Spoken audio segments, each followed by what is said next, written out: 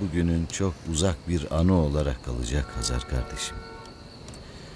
Can kuşu yerine gelince rahatlayacaksın. Burcu ile bebeğin sağlığı şu an çok önemli. Ama yine de ben daha çok Zilan'ı düşünüyorum. Daha çok onun için üzülüyorum. Şimdi ne yapıyor? Ne düşünüyor? Onu çok zor bir duruma düşürdüm Adalı. İnsan sevgiyle yaşarmış.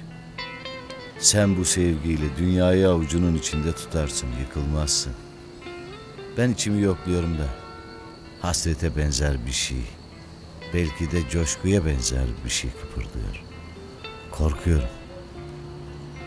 Neden dersen sevgisizlikten. Bu çocuk benden değil. Senden. Bana gerçeği söyle. Kimden? Senden dedim ya. Yalan söylüyorsun. Söylemiyorum. Kimden bu çocuk? O senin çocuğun. Değil. Son kez soruyorum. Kimden? Yeter artık bıktım senin bu kıskançlıklarından. Yalancı.